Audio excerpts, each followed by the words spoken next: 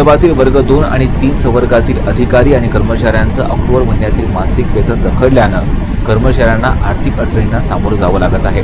मनपानं याकडे लक्ष देण्याची गरज आहे. शहर स्वच्छ आणि सुंदर ठेवण्यासह नागरिकांना मूलभूत सुविधा पुरवणाऱ्या महानगरपालिकेच्या तिजोरीत कडकडाट असल्यानं शहरातील विकास कामं निधी अभावी रखडली आहेत. तर दुसरीकडे मनपातील अधिकारी आणि कर्मचाऱ्यांचे मासिक वेतनात अनियमितता आली आहे. यंदा दिवाळीचा सण तीस ऑक्टोबर रोजी साजरा झाल्यानं महिना अखेरीस आलेल्या सणाला मनपा प्रशासनाच्या वतीनं वर्ग चार संवर्गातील कर्मचाऱ्यांना वेतनासह बोनस वितरित करण्यात आला. तर वर्ग दोन आणि तीन संवर्गातील अधिकारी आणि कर्मचाऱ्यांना वेतन न देता दहा हजारांची अग्रिम रक्कम रोखीनं देण्यात आली. यामुळे कर्मचाऱ्यांना दिवाळी सण साजरा करता आला. दिवाळी सण उलटून तब्बल पंधरा दिवस होऊनही मनपातील अधिकारी आणि कर्मचारी ऑक्टोबर महिन्याच्या वेतनापासून अद्यापही वंचित आहेत.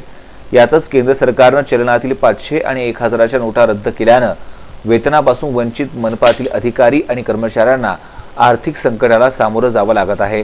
जुन्या पाचशे आणि एक हजाराच्या नोटांद्वारे नागरिकांनी करभरणा केल्यानं मनपाच्या तिजोरीत निधी उपलब्ध झाला आहे यातून मनपातील अधिकारी आणि कर्मचाऱ्यांना रखडलेले वेतन तात्काळ देण्याची अपेक्षा अधिकारी आणि कर्मचाऱ्यांकडून व्यक्त केली जात आहे. याकडे मनपा प्रशासनाला लक्ष वेधण्याची गरज निर्माण झाली आहे.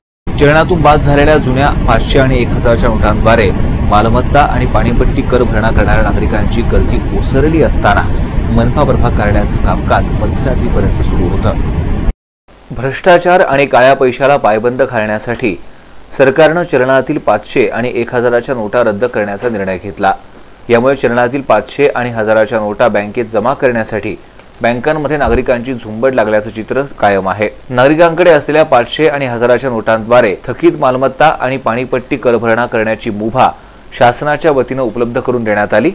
यामुळे चलनातून बाद झालेल्या नोटा मार्गी लावण्यासाठी नागरिकांनी मनपाची थकीत मालमत्ता आणि पाणीपट्टीची रक्कम भरण्याला प्राधान्य दिलं. यामुळे मनपाच्या कार्यालयांमध्ये कर भरणा करण्यासाठी नागरिकांची लगबग दिसून आली. परिणामी मनपाच्या रिकाम्या तिजोरीत कोट्यवधींची भर पडली. जुन्या रद्द नोटांद्वारे कर भरणा करण्याची अंतिम मुदत आज मध्यरात्री संपत आहे.